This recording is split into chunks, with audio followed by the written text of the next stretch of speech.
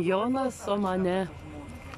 Daug, daug, daug kalnų, aukšti kalnai, daug žmonių, saulė šviečia, upelis teka, akmenys, mašina.